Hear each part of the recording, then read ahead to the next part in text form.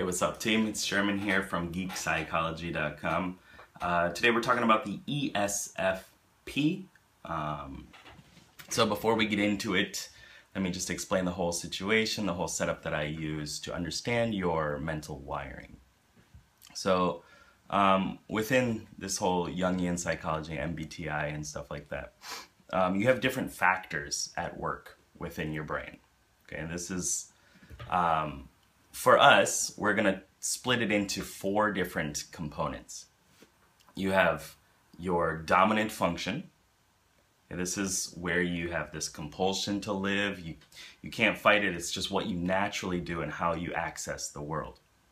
Then your auxiliary function, which is kind of the, the support. A lot of people call it that. It's a, uh, another way of orienting yourself um, so in, in this case, for you, it's going to be being introverted and subjective and thinking about um, how things were in the past and whatnot.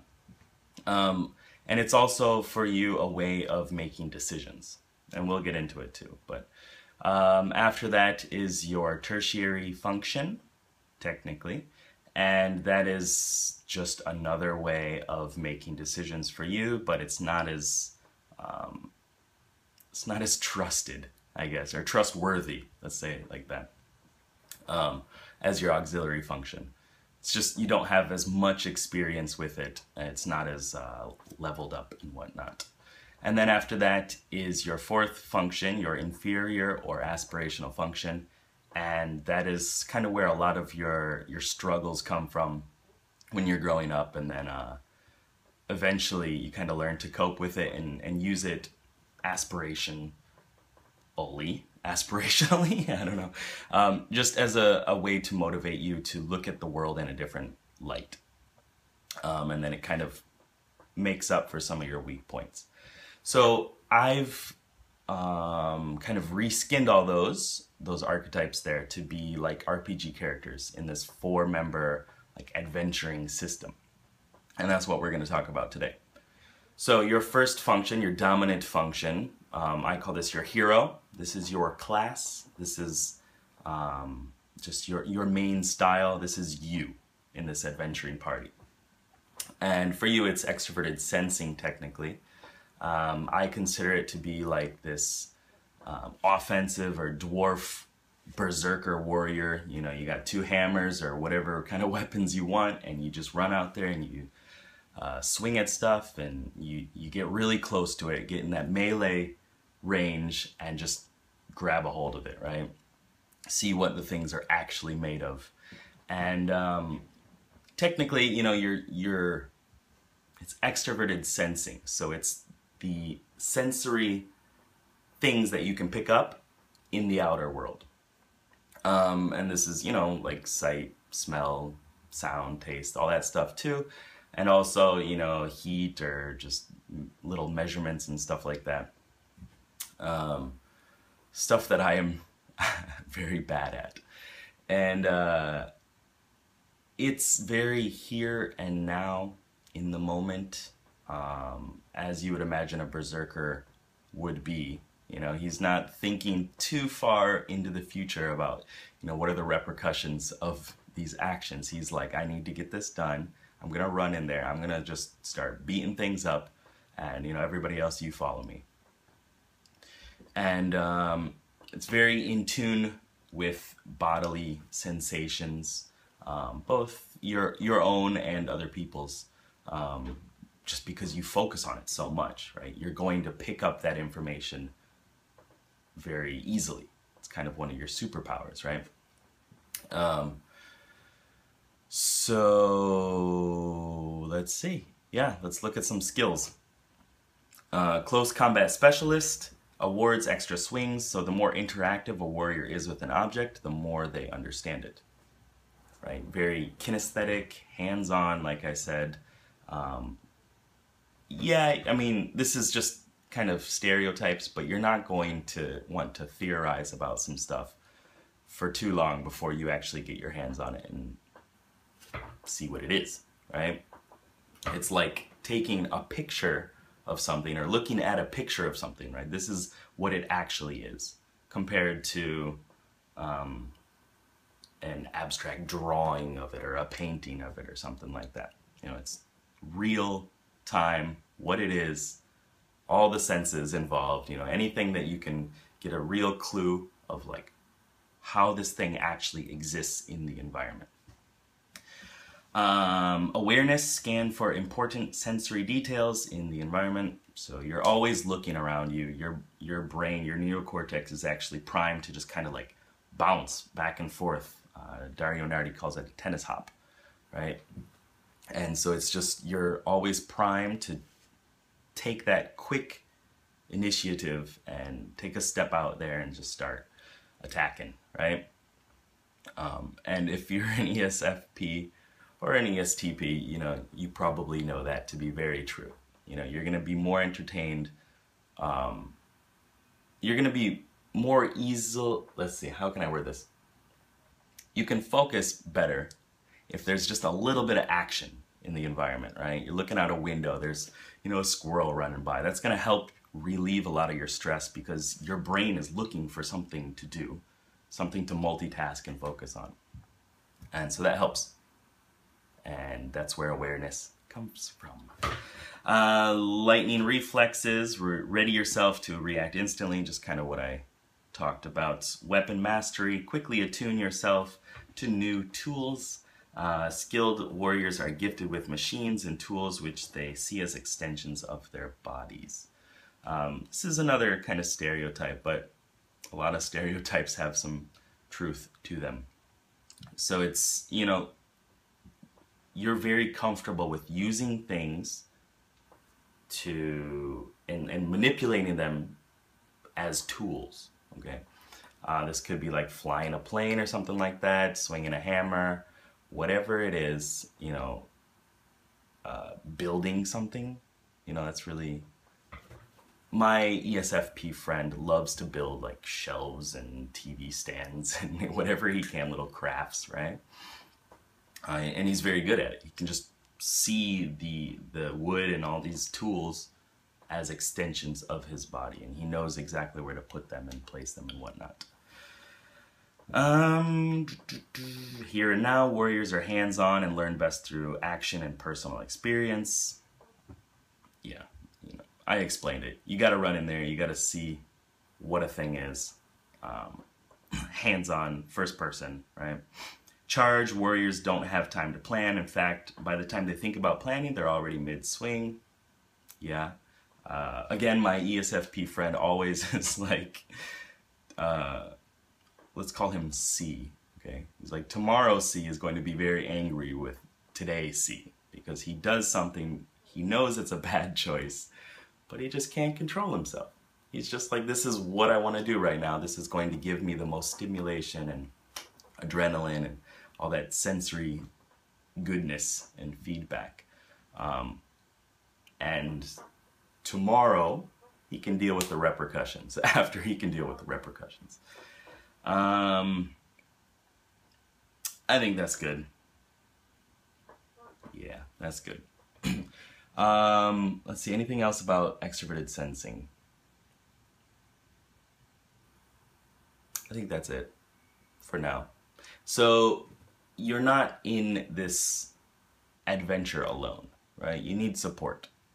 A lone berserker is not going to to beat the game and slay all these dragons and whatnot. Um, he needs some heals, in your case. and those heals come from your auxiliary function. This is your companion in the system that I use. And it's it's like Samwise and Frodo right? It's just, it's a dude that's there to help you out and help you accomplish your goals. And he's necessary, right?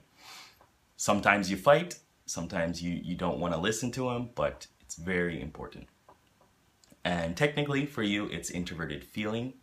And what that's all about is your past and understanding your past through how, how you feel about it, how you felt in situations, and then kind of compiling all that emotional and value based data and your feelings and whatnot into this structure that you do not disobey. You don't want to like ignore it, right?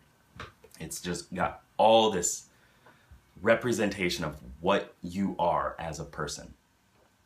And you use that to make your decisions. Feeling and thinking are decision making functions, they're judging functions. Um, so, in this case, how you make most of your decisions, um, at least your, your really good ones, um, are through what happened in your past, how you understand that to affect you as your identity, right? And yeah, so you just use that to make your decisions. And you know, if if it goes against the group, that's how it is, right? Because you're not gonna be untrue to yourself.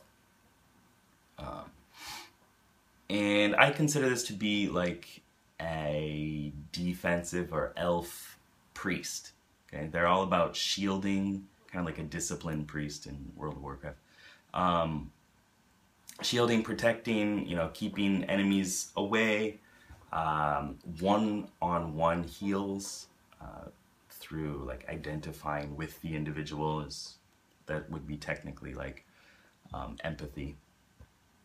And yeah, so it's a very slow decision making function because it has to access all this past information and think about it and you know go into your feelings and stuff like that and be like, you know, I I disagree with this.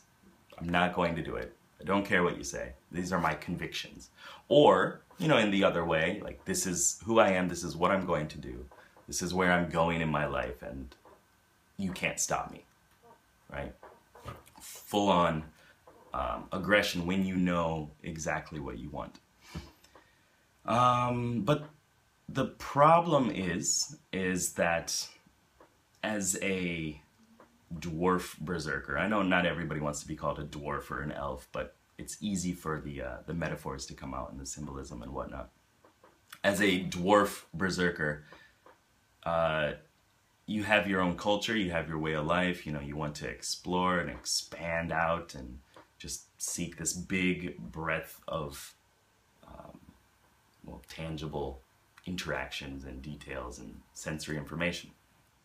But um, elves are chill. they want to, you know, just go along with life and react to things instead of like be proactive necessarily. And um, they do this thing called reverie. So it's kind of like sleep. It's this dream-like state. And this is where um, they relive past experiences. That's what introverted functions do and introverts do a lot of the time. Um, and they speak Elven or Elvish or whatever you want to call it. I haven't been able to find the correct pronunciation or the correct word, I guess. Um, so it's kind of difficult to speak to the elf as a dwarf, right? Because they're slow. You're just like, hurry up, let's do this. I'm bored, I'm impatient. let's let's go, right? And the elf, he, the priest is just like, mm, let's think about it a little bit more. Is this really what we want to do? I don't know. You know, how did it work out in the past? Well, this time it was like this, and this time it was like this. So, mm, you know, I don't know if I really feel like that. And the berserker just runs out there. It's like, screw it, Leroy Jenkins, let's go. Um, and this is when you turn to your tertiary function, your newbie in this system. And it's another decision-making function, and it's a dwarf, right? It's extroverted thinking, technically, so it's like a dwarf mage or a geomancer. And it's very quick decisions. Right now, what can I do? What decision can I make to make a step forward and then we can test it out and see how it works you know and then we can go to the next step and then the next step and then the next step it's very step oriented like i just said and it's about empirical evidence as well like what can everybody see um, and how can i use that to make a decision so like charts and graphs and like numbers, data, stuff like that. Um, but it's not your best function. It's not the same level as your hero and your companion. So if those are like level 30, it's like a level 10. All right, so it has a feel, it has an understanding of how the game works, um, but it just doesn't have as much experience as the other ones. It doesn't know exactly, you know, how this boss fight works. When do I need to collect the poison and dash out of this thing and, you know, move around? Um, so that causes some issues with making correct decisions, right? Because it just wants to make quick, efficient, or effective decisions and see what happens. And that works really well um, with your with your mindset as this berserker, this dwarf warrior, right? Because you want quick feedback as well. You know, how how much can you understand about the environment? Just take it all in, right?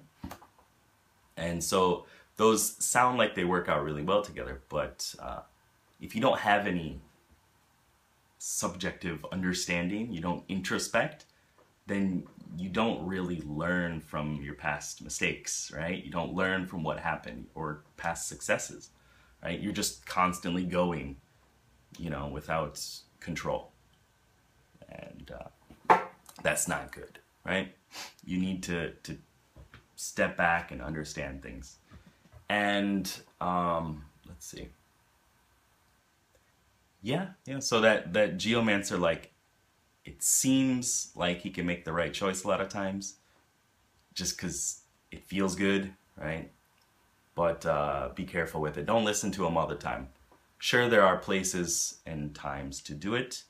Um, don't completely ignore the newbie because that's when he's gonna cause some problems for you, right? You got to keep your eye on them.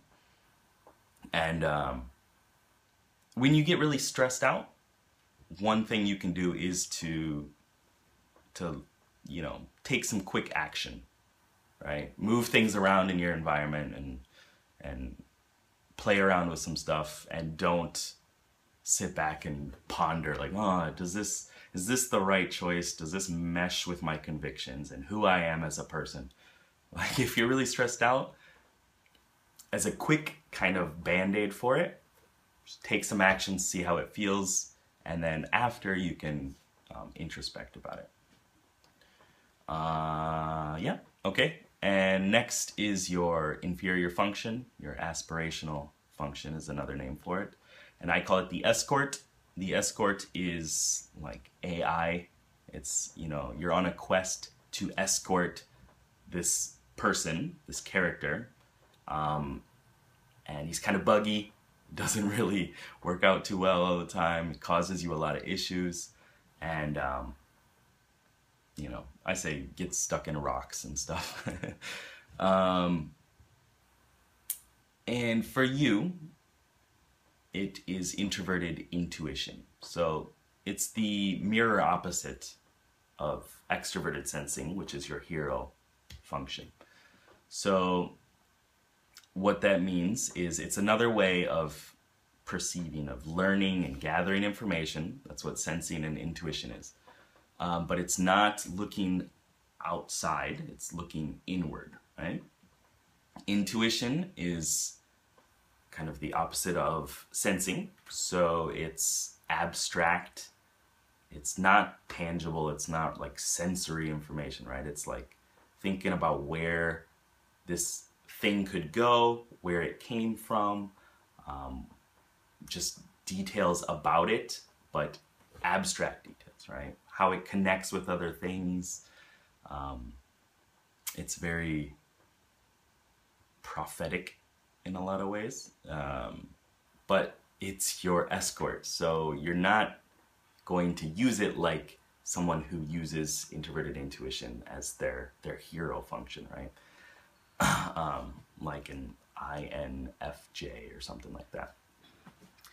So um, I consider this to be like an elf hunter or a sentinel. It's got a bow and arrow, really slow, kind of stalking its prey, slowly filling out the uh, its understanding of the the territory and whatnot. Um, low. One shot, one kill.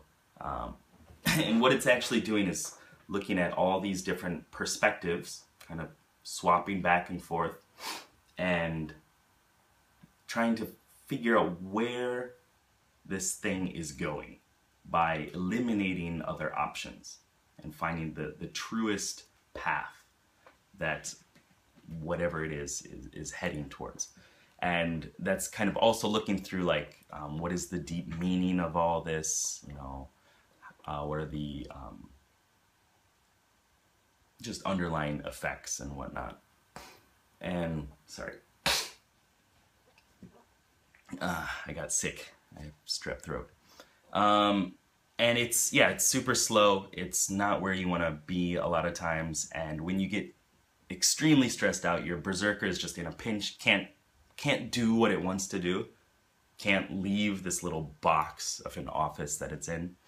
Um, then you start switching to this sentinel and you're like you start assuming all these things and theorizing about stuff and like oh this person is definitely doing this right now because in my past one other person did that and it's just like it's very often negative and assuming that people are um, kind of causing problems for you and whatnot. Um, I'm trying to think of some other information about it. Mm, I, I don't know. I think that's about good. Like when you start panicking and and thinking about how how things are going wrong for you and how you can never change the future and all this stuff like that's that's when you're giving too much control to the escort. And you need to make a quick decision using your geomancer your newbie and get you back into your your hero style your flow state. And um, you know if you follow the escort's quest, if you give it time, if you, um, you know, don't don't bring it to the boss fight, but take it out every once in a while. Let him let him walk around and follow the quest for a bit, and you'll you'll get better at it, and you'll be able to trust it more. And the more you can trust like where your actions are going and and this abstract understanding of how things are interrelated, the better your gut instinct will be when you when you're in your hero mode, right? When you're playing sports or whatever, or when you're just, you know, reading body language or what whatever it is, like using your introverted intuition um, or accepting it more often is going to help you get better information because you're learning more from another perspective, right? So I think that's about it. This video went a little long, sorry about that, but uh, I hope it was educational. um, if you're an ESFP or you know one or just want to talk about it, whatever it is, uh, in the comments below, please type something up and I will respond and like, share, do whatever you got to do to help me out here. Thank you very much, and good luck, have fun. See ya.